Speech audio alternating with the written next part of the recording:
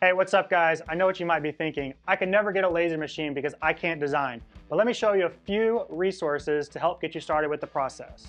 So here's just a few resources you can check out if you're interested in finding out about some files. So here I just uh, typed in free SVG Christmas ornaments, and then this brought up a bunch of different items.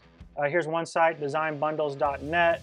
Make sure it does say, guys, commercial use. If you're gonna be selling these, you always wanna make sure you're using a commercial use license.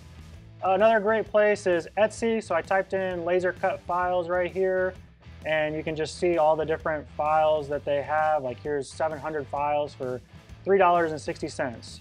Uh, these are all SVGs that can be imported right into Lightburn. Here's a nice, really cool ship for nine bucks. And then another great, really cool resource is Cuttle.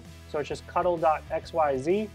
And here you're actually designing uh, different customized, so you can put in your names uh, and different things like that and make them really personable.